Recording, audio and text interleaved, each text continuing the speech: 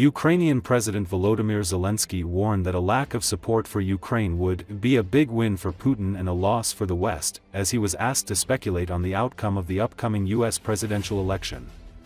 Zelensky was asked about speculation that U.S. Republican presidential candidate Donald Trump would withdraw aid to Ukraine if elected but Zelensky appeared to be unaware of the comments.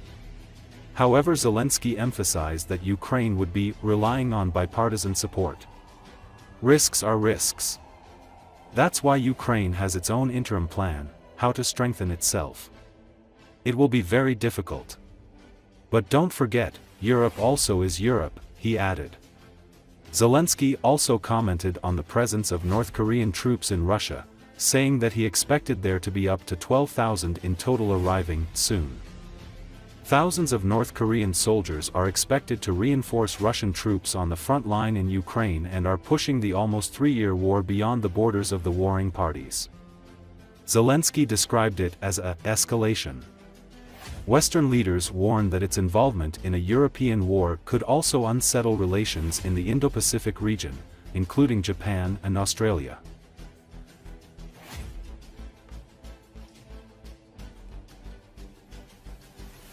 Militarily and financially to Ukraine if United States fails to do so. Uh, I didn't hear that he said that he will uh, cancel and will not support uh, Ukraine. But uh, of course, we don't know who will be the president. But of course, we understand all the risks.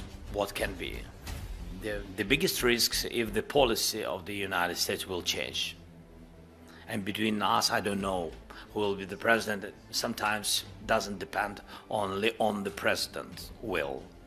I think we have to uh, count on bipartisan support on Congress, first of all, and that's why it will be, I think, not to not to support Ukraine.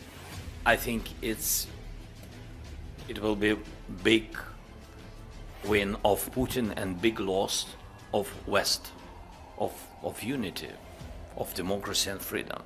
That's why I'm not sure that President Trump, if he will be the president, yeah, that he want to be really that he want to lose and I think that's that's mean not to, to help Ukraine. But anyway, I agree with you that risks are risks. That's why Ukraine has its own interior plan how to strengthen itself. It will be very difficult, but don't forget, Europe also is Europe. I can add on to that saying that well, with a one or two very well known about um, Russia getting support from, let's say, countries that haven't taken a clear stand. First of all, about North Korean soldiers, soldiers and officers. They have both. They have both already on Russian territory. And they will use it both. They will use it on our territory. 3,000 already on the territory of Russia, 3,000 of North Korean soldiers. We think the information from our intelligence, uh, we think that they will have 12,000. This soon, I mean soon. It's not about years or months, it's soon.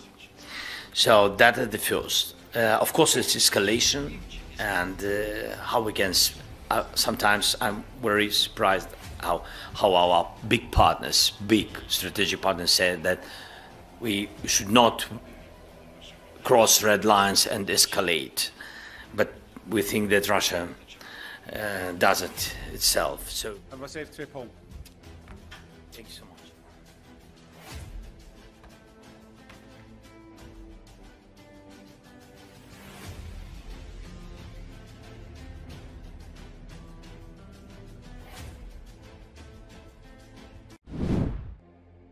Zelensky mættist á Íslandi. Hvernig hvernig þú kemur hér út fattanlega helsveitana og vel svo væri. Thanks so much. Nice to meet you.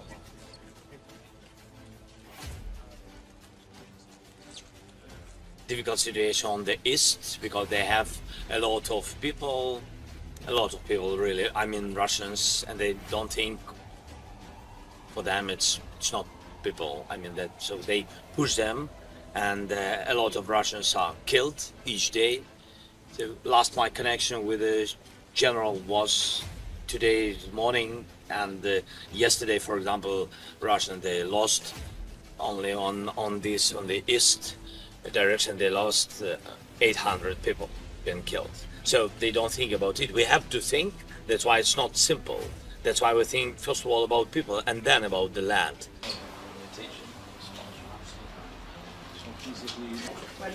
Thank you so much. No, thank you very much. Best of Good to see you. Hi.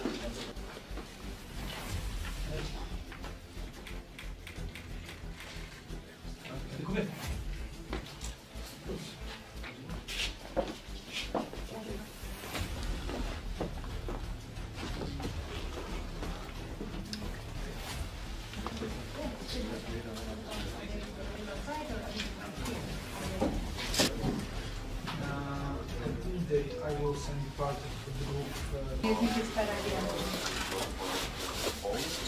to walk in the middle of the road and then come back to. What